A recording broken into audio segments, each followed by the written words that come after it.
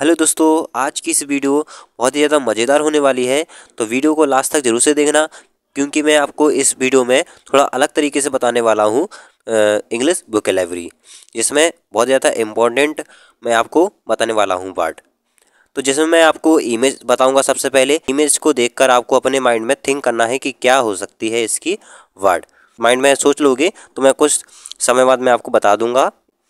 तो चलिए video start करते हैं। तो सबसे पहले ये रही आपकी स्क्रीन पर इमेज।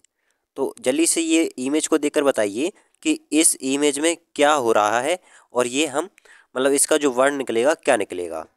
अगर आपने सोच लिया है अपने माइंड में तो मैं आपको बताने वाला हूँ। ये मैंने इसको जूम आउट किया और यहाँ पर लिखा हुआ है नाखूनी। तो ये इसमें हम क्या कर रहे हैं फिंगर को हैंड के फिंगर को नाखूनी लगा रहे हैं जिसको हम बोलते हैं हम नेल पॉलिश। ओके? तो कितना मज़ा आया इसमें? आगे चलिए कंटिन्यू करते हैं। तो चलिए अब बताइए, अपने माइंड में थिंक कर लीजिए कि क्या हो सकता है। तो यहाँ पर देख सकते हैं ये सिंदूर है और एक लेडीज़ लगा रही है। तो इसको हम क्या बोलेंगे? तो आपने वर्ड सोच लिया अपने माइंड में? तो चलिए अब मैं आपको बताने वाला हूँ। तो ये मैंने इमेज को जूम आउट किया और लिखा हुआ है सिंदूर, जिसको बोलेंगे हम वर्मिलॉइन ओके? अगली इमेज ये रही आपकी स्क्रीन पर।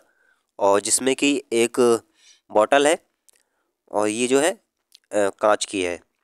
तो आपको देखना होगा, समझना होगा। देखिए, फूल भी रखे हुए हैं, फ्लावर।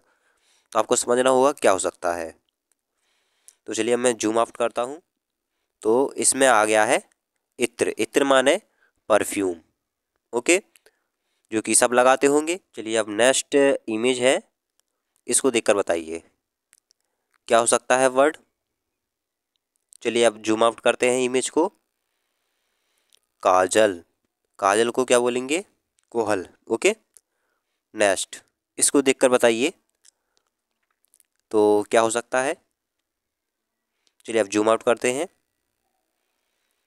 तो लाली, यानी लिपस्टिक, जो कि सबकी मम्मी लगाती होंगी। नेक्स्ट इमेज है, जिसमें कि बिंदी है और यहाँ पर लगाई जा रही है। तो अब मैं जूम आउट करता हूँ। बिंदी ओके मैंने खुद ही बता दिया था इमेज में। तो बिंदी हो गया है। बिंदी को बोलेंगे हम बिंदी इंग्लिश में ओके नेक्स्ट इमेज है। जूम आउट करते हैं अब।